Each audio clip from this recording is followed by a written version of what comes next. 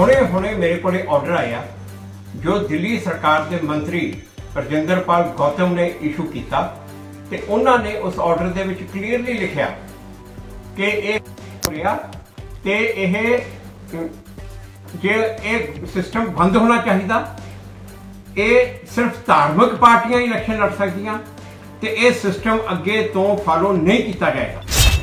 ਕਿ ਜਿਹੜੇ ਹੁਣ ਆਉਣ ਵਾਲੇ ਇਲੈਕਸ਼ਨ ਆ ਅਪ੍ਰੈਲ ਦੇ ਵਿੱਚ ਹੋਣੇ ਆ, ਦਿੱਲੀ ਗੁਰਦੁਆਰਾ ਕਮੇਟੀ ਦੇ।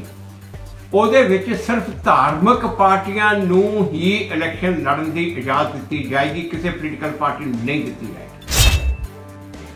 ਇਹਦੇ ਨਾਲ ਹੁਣ ਇਹ ਗੱਲ ਕਲੀਅਰ ਆ ਕਿ ਅਕਾਲੀ ਦਲ ਬਾਦਲ ਗੁਰਦੁਆਰਾ, ਦਿੱਲੀ ਗੁਰਦੁਆਰਾ ਕਮੇਟੀ ਦੇ ਇਲੈਕਸ਼ਨ ਨਹੀਂ ਲੜ ਸਕੂਗਾ।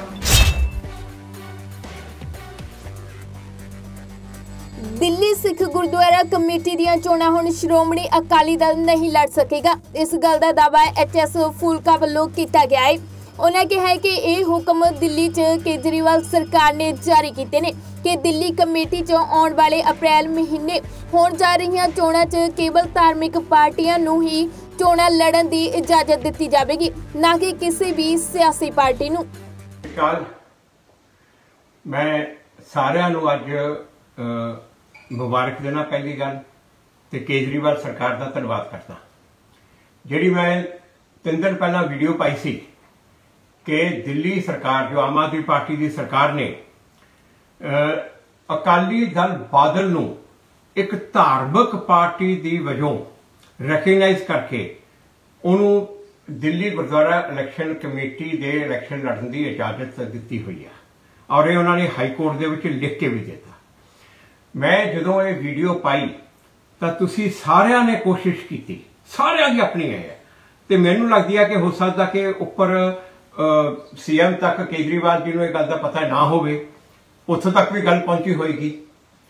ਤੇ ਸਾਡੀ ਸਾਰਿਆਂ ਦੀ ਕੋਸ਼ਿਸ਼ ਦਾ ਨਤੀਜਾ ਇਹ ਆ ਕਿ ਹੁਣੇ-ਹੁਣੇ ਮੇਰੇ ਕੋਲੇ ਆਰਡਰ ਆਇਆ, ਜੋ ਦਿੱਲੀ ਸਰਕਾਰ ਦੇ ਮੰਤਰੀ ਰਜਿੰਦਰਪਾਲ ਗੌਤਮ ਨੇ ਇਸ਼ੂ ਕੀਤਾ, ਤੇ ਉਹਨਾਂ ਨੇ ਉਸ ਆਰਡਰ ਦੇ ਵਿੱਚ ਕਲੀਅਰਲੀ ਲਿਖਿਆ ਕਿ ਇਹ ਰਿਹਾ ਤੇ ਇਹ ਜੇ ਇਹ ਸਿਸਟਮ ਬੰਦ ਹੋਣਾ ਚਾਹੀਦਾ, ਇਹ ਸਿਰਫ ਧਾਰਮਿਕ ਪਾਰਟੀਆਂ ਹੀ ਇਲੈਕਸ਼ਨ ਲੜ ਸਕਦੀਆਂ ਤੇ ਇਹ ਸਿਸਟਮ ਅੱਗੇ ਤੋਂ ਫਾਲੋ ਨਹੀਂ ਕੀਤਾ ਜਾਏਗਾ।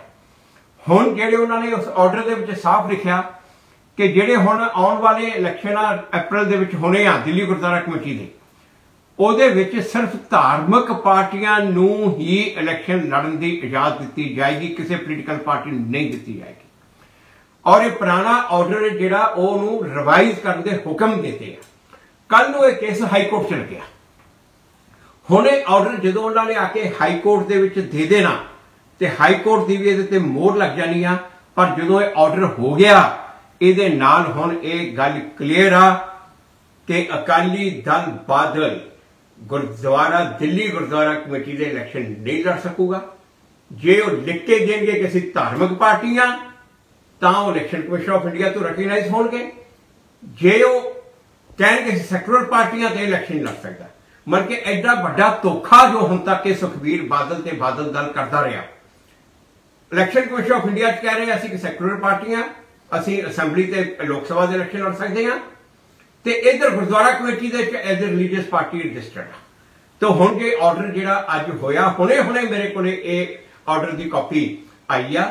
ਜਿਹੜਾ ਇਹ ਆਰਡਰ ਅੱਜ ਹੋਇਆ, ਇਹ ਇੱਕ ਸਾਡੇ ਸਾਰਿਆਂ ਦੀ ਕੋਸ਼ਿਸ਼ ਦਾ ਨਤੀਜਾ, ਇੱਕ ਬਹੁਤ ਹੀ ਵੱਡਾ ਕਦਮ ਹੈ ਸਾਡੀ ਇਹ ਮੁਹਿੰਮ ਕਿ ਅਸੀਂ ਆਪਣੇ ਗੁਰਦੁਆਰਿਆਂ ਨੂੰ ਸਿਆਸਤ ਤੋਂ ਆਜ਼ਾਦ ਕਰਾਉਣਾ ਤੇ ਧਾਰਮਿਕ ਬੰਦਿਆਂ ਦੇ ਹੱਥਾਂ 'ਚ ਗੁਰਦੁਆਰਿਆਂ ਦੀਆਂ ਬਾਗਡੋਰ ਸੰਪਣੀਆਂ। ਮੈਂ ਤੁਹਾਨੂੰ ਸਾਰਿਆਂ ਨੂੰ ਇਸ ਗੱਲ ਦੀ ਮੁਬਾਰਕ ਦਿੰਦਾ। ਤੇ ਕੇਜਰੀਵਾਲ ਜੀ ਤੇ ਉਹਨਾਂ ਦੀ ਸਰਕਾਰ ਤੇ ਰਜਿੰਦਰ ਗੌਤਮ ਮੰਤਰੀ ਦਾ ਧੰਨਵਾਦ ਕਰਦਾ ਇਸ ਗੱਲ ਦੇ ਉੱਤੇ।